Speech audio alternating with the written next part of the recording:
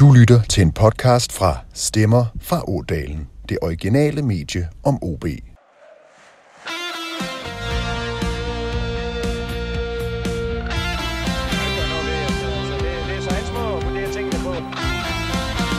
det er noget, man drikker.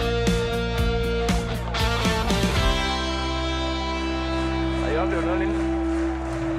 Jeg har sgu ikke det. Velkommen til en øh, særlig udgave af Stemmer fra Ådalen. Mit navn er Martin Davidsen, og øh, det vi skal høre her, det er et interview med Oliver Christensen. Oliver Christensen, han er jo øh, netop blevet udtaget til Danmarks VM-trup. VM-slutrunden i Katar. Et forfærdeligt VM i virkeligheden, men med store sportslige perspektiver for Danmark. Oliver Christensen, han er altså en af flere tidligere OB'er i den danske landsholdstrup. Den anden, det er jo Christian Eriksen, og øh, det kan jo være, der kommer en mere med i form af for eksempel Kasper Nielsen. Det må vi afvente at se. OB er jo i det hele taget fint repræsenteret til, til VM-slutrunden, og Oliver Christensen er altså en af de her repræsentanter for Fyn og for OB. Vi har talt med Oliver Christensen i dag om øh, hans øh, tanker om den her VM-udtagelse. Vi har talt med ham om hans øh, sæson indtil videre i Hertha Berlin, og så kigger han selvfølgelig også lidt tilbage på, på det, han tog med sig fra OB, da han skiftede til tysk fodbold for lidt over et års tid siden. Udsendelsen her, den er jo øh, ikke med nogen partner, vi har Albani på, som, som altid, men, men ikke nogen specifik partner. Det er en ekstra udsendelse, vi laver, fordi vi ikke kan lade være. Derfor er der heller ikke øh, Tier.dk koblet op på den her udsendelse her. Ja, der støtter os på Tier.dk. I bliver ikke trukket for den her, den her lidt korte udsendelse, som vi har brygget sammen på den her fredag eftermiddag her. Nu vil jeg egentlig bare byde øh, jer god fornøjelse med udsendelsen og snakken med Oliver Christensen her. Og tak fordi I lytter med.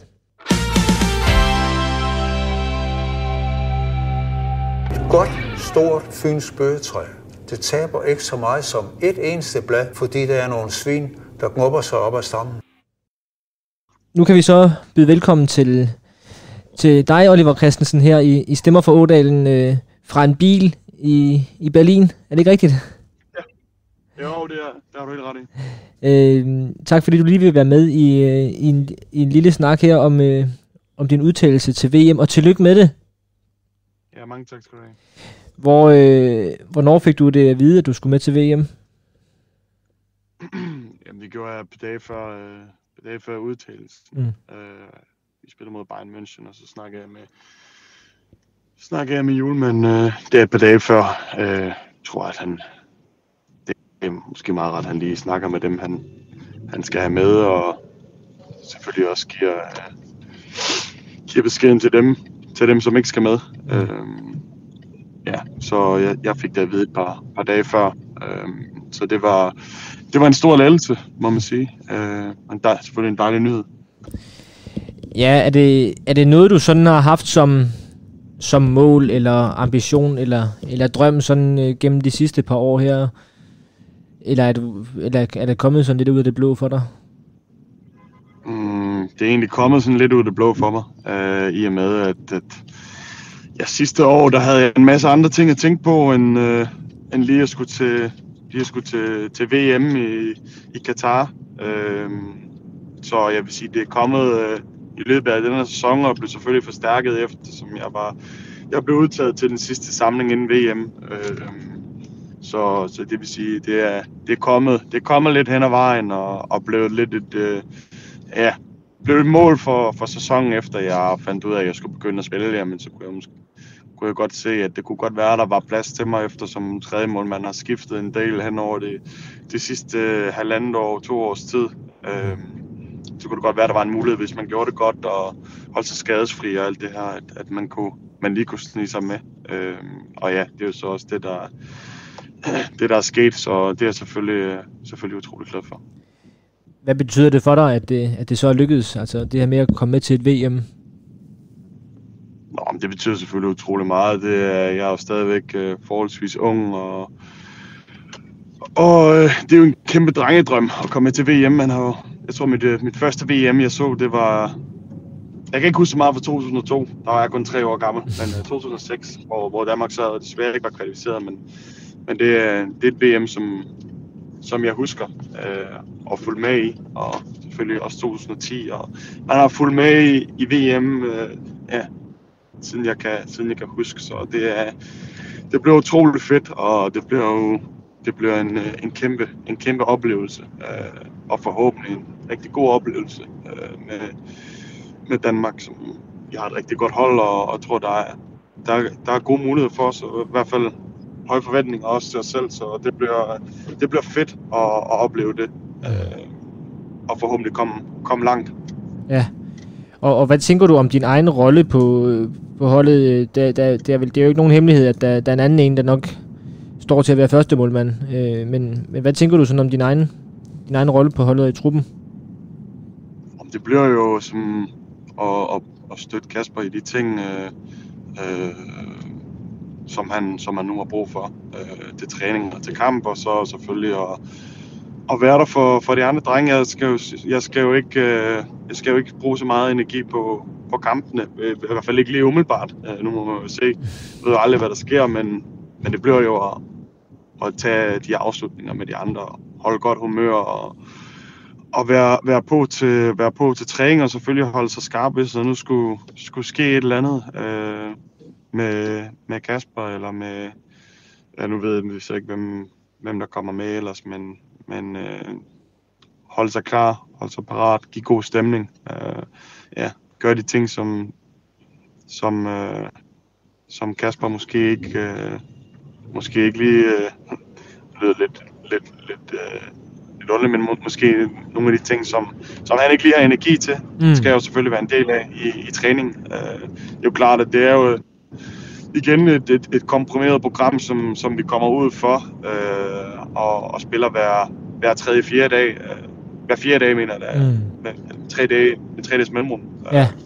Så det er jo klart, at han skal jo også, øh, øh, han skal også passe på, og, på sin krop og sørge for, at han, han kan holde hele turneringen igennem. Så det er klart, at det, det bliver træning, der bliver ligesom min, øh, min, primære, min primære opgave. Mm. Og så selvfølgelig være, være klar, hvis nu, hvis nu der skulle ske noget. Okay. Og, øh, og hvordan kommer du ind til, til den her slutrunde her? Vi har jo lagt mærke til, at du, du øh, ja, er kommet til at spille fast i, i Hertha. Øh, kan du sætte nogle ord på, på den sæson, du har, du har været igennem indtil videre? Jo, men det har for det første fremmest har været rigtig dejligt at få lov til at spille, og spille hver gang. Øh, jeg synes også, at, at min præstation har været, har været rigtig fin. Det er selvfølgelig klart, der kan jo altid finpudse nogle ting i det her, men jeg synes egentlig, starten har været, har været ganske fornuftig. Mm. Øh, selvfølgelig klart, at sådan pointmæssigt og holdmæssigt har vi, har vi lidt nogle, nogle udfordringer, og også haft, øh, har heller ikke været alt for heldig, eller, eller ikke øh, alt for dygtig i nogle afgørende momenter. Øh, så, så, men på den personlige form, så, så synes jeg helt klart, at pilen vender, vender opad. Jeg kommer ind med, med fin selvtillid til, til den her samling, øh, eller til den her VM. Øh, så ja, det, øh, det håber vi, at, at, kan, at jeg kan holde ved og selvfølgelig bygge videre på. Og, og selvfølgelig øh, tage nogle ting med. Det er klart, når man træner med en målmand som, som Kasper i forhåbentlig forhåbentlig 4-5 uger, jamen så, øh, så lærer man også nogle ting, og, og det, er også, øh, det er også noget, jeg ser meget frem til, mm. at, at lære af de, af de andre målmænd, der er med. Øh, og selvfølgelig træne med nogle rigtig dygtige spillere, det bliver, det bliver, også, øh, det bliver også rigtig fedt, og så forhåbentlig kan man, kan man bygge videre på øh, derfra, tage, få en masse ting med i bagagen. Selvfølgelig en, en kæmpe oplevelse med, med VM også. Øh, øh, det bliver også en, en oplevelse og ting til, ting til rygsækken, man kan tage med videre på sin vej. Mm. Og øh, det er jo et, et års tid og, og et par måneder siden, at du, at du forlod OB, og, øh, og det er jo det, der er i den her podcast her, men, øh, men øh, og vi havde jo fat i dig øh, der kort tid efter, du var, du var skiftet. Øh, så lidt mere bredt nu, altså, hvordan går det? Jamen, det går, øh, det går rigtig godt. Jeg har det rigtig, rigtig godt i Berlin. Øh, jeg, jeg er rigtig glad for byen, jeg er glad for klubben. Øh, jeg, jeg har fundet mig rigtig godt, rigtig godt til rette. Og selvfølgelig, det hjælper også på det, når man spiller hver gang. Ikke? Så, så går tingene lidt, så går tingene lidt nemmere og det har jeg også kunnet mærke her de sidste 4-5 måneder. Det er, en, det er lidt en anden oplevelse, når du, når du spiller hver gang. Ja. Det er noget jeg, noget, jeg er rigtig glad for. Men, men jeg har det rigtig godt, og, og har, har fundet et sted at bo, og ja, det, det, det, hele, det, det hele går den rigtige vej, så, så det, er, det er noget, jeg, noget, jeg er rigtig glad for. Og, og det er jo trods alt et, et, et stort skridt at, at skifte fra Superligaen og OB og så til, øh, til øh, tysk fodbold og, ja, og Bundesligaen. Øh, men, men følte du dig, altså det du har fået med i, i rygsækken fra, fra at have spillet i OB og de her ting, altså har, stod du godt rustet, da du kom derned, og har du kunne bruge de erfaringer, du trods alt øh, øh, har fået i Danmark? Har du kunne bruge det til at, at etablere dig i Tyskland? Ja, det synes jeg egentlig. Jeg synes egentlig, mit, mit forløb minder egentlig på, på mange måder om, om det, jeg også havde i OB, øh, hvor jeg startede den første sæson som, man kan sige, den første sæson som professionel i OB, var jeg, var jeg anden målmand, og det var jeg også her i, i her til Berlin, og, og ja, ender så med at få chancen ud, lidt ud af ingenting, og, og kommer ind og gør det rigtig fint. Øh, så jeg synes egentlig, at på, på mange måder, så minder, så minder de to forløb, jeg, jeg har haft, øh, de minder egentlig lidt om hinanden. Øh, og, og det er klart, at jeg har selvfølgelig også fået en masse erfaring fra mange af de kampe, jeg har spillet i OB, og øh, det har helt klart været noget, jeg kunne bruge. Det er jo klart, niveauet er selvfølgelig, selvfølgelig højere, men reglerne er jo i bund og grund de samme. øh, øh, så, så jeg synes helt klart, at jeg, jeg har oplevet og prøvet en masse ting i OB, som, som jeg også har kunne bruge videre med her i, i Berlin, og, og det, det, det er jo selvfølgelig noget, som, som jeg er rigtig glad for. Jeg alligevel at spille en, omkring 70 kampe, tror jeg, for mm. OB.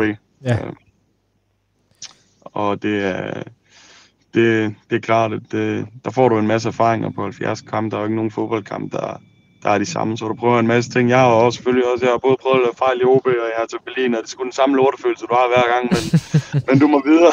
Du må, du, må, du må komme op på hesten igen, fordi der er en kamp næste weekend, og klart, det er jo, det er jo nogle af de ting, som, som du lærer i, gennem din karriere, hvordan du skal håndtere de ting, og det, det har jeg jo heldigvis prøvet i en tidlig alder. Øh, så det, det er noget, som, som, som jeg helt klart, øh, helt klart bruger stadigvæk, og noget, jeg har lært i, i OB. Øh, Okay. Har du haft tid til at følge med i, i OB? Øh, og, og det, ja, det har jeg. Ja. Hvad tænker du om det hele? Bestemt, ja. jo, men det er klart, at det, man var, man var lidt, øh, lidt nervøs for, for starten. Øhm, Ja. Men jeg synes, de kom rigtig godt efter det, og har selvfølgelig fået nogle nye spillere, og, og de har fået lidt mere, lidt mere tur i den. Øhm, det er klart, når man, når man, vinder, når man vinder lidt fodboldkamp, jamen det er aflet selvtillid, og det har man også kunne se på, på holdet. Jeg synes, de har, de har præsteret rigtig godt de, de sidste 10 runder, og, og ligger også, øh, nu skal jeg ikke lige, jeg er ikke helt sikker, men mener, ligger, nej, de, Jo, det er noget, top- noget, de har kommet, Ja.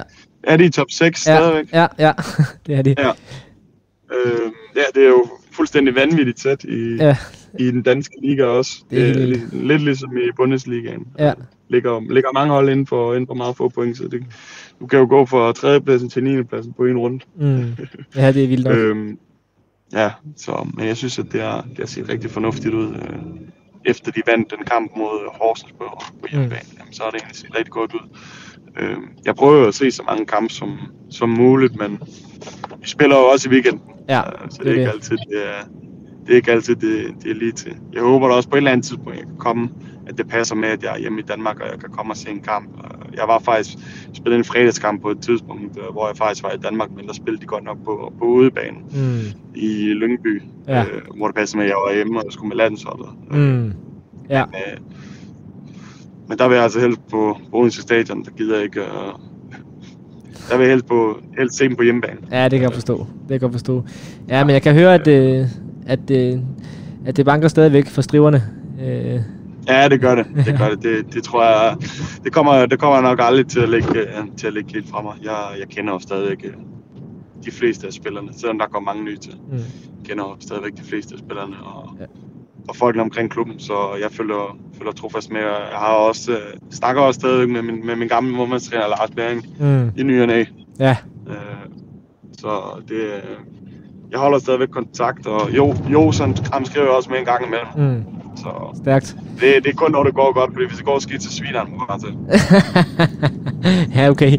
Øh, Øh, fedt nok. Øh, her til sidst, øh, Oliver, du, øh, det har været et, et, et vildt øh, halvår for dig, det her. Øh, og nu er der et VM her rundt om hjørnet. Men hvad tænker du ellers om, om, om hvad der skal ske for dig her, her, her fra nu af? Hvad er, hvad er dine øh, ambitioner og, og din håb for, ja, for det næste halve år, eller de næste par år her, nu hvor nu, du, du ligesom har taget en, endnu et skridt i, i udviklingen her?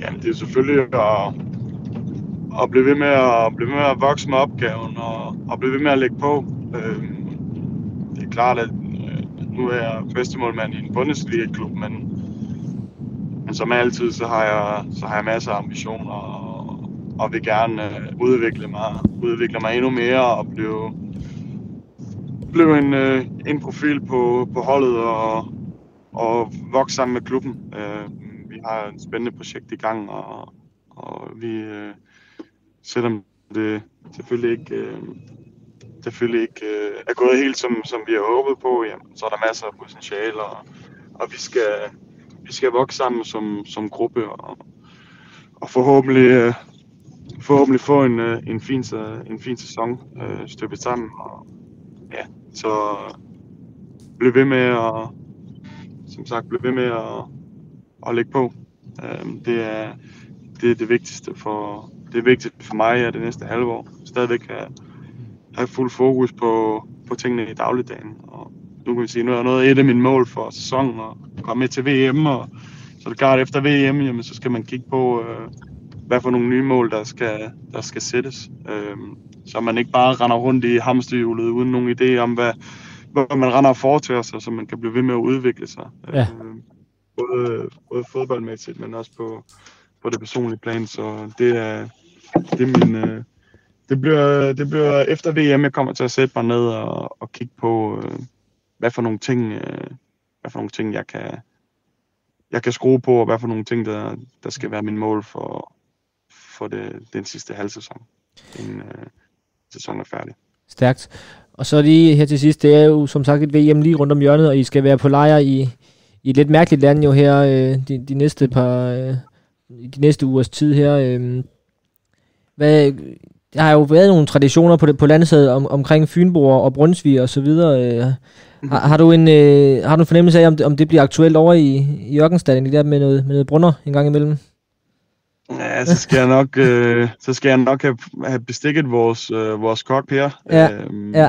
Om man ikke lige kan få lavet noget, noget Brunsvig. Der, jeg har også... Øh, et par andre fynboer med. Øh, ja, jeg tænker, du har en allieret i Christian Eriksen. Han plejer da også at være rimelig glad for ja, den der slags. Jeg har i hvert fald, ja, ja, lige præcis, jeg har i hvert fald en allieret i Christian Eriksen, så må ikke, øh, må ikke jeg kan få, jeg kan få snakket de to hen på, at vi skal have, have Brunsvig en dag, måske øh, dagen efter en, en sejr øh, mm. i den første gruppekamp. Det kunne, det kunne helt klart være en mulighed, men, øh, men det, er, det, er i hvert fald, øh, det er i hvert fald noget, der skal, der skal snakkes om. det er der ikke nogen tvivl om. det lyder godt. Okay.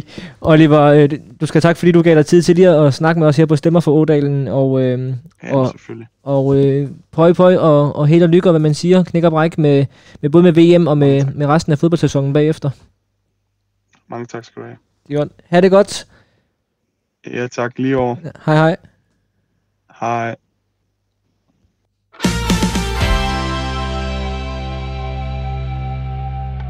kan man ikke gøre noget ved. Altså, så det, det er så hans måde at vurdere tingene på. Ja, det var altså vores lille interview med Oliver Christensen, der er klar til at skulle til VM med Danmark. En af flere tidligere OB'er, der, der er med i den danske landsholdstrup. Udsendelsen her, den er som sagt uden partner, den er også øh, uden øh, krav om, at man støtter på tier.dk. Vi øh, gør den her udsendelse øh, som en, øh, vi laver den her udsendelse som en, en freerider, der bliver ikke trykket penge på tier.dk-kontoen for den her, for det var en lille ekstra ting, vi havde i posen her op til weekenden. Mit navn er Martin Davidsen. Stemmer få den tilbage igen på mandag med øh, sæsonevaluering og nedlæg på Horsenskampen og kåring af efterårets OB-profil. I må have rigtig god kamp og god kamp i Horsens. På genhør.